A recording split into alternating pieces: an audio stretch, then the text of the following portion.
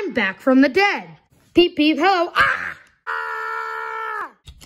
What's in here? Oh, I've seen enough. Dude, don't go in shed number 17. I'm going to go in shed number 17. I'm going to go pull the kipper. Wait, what? Ah!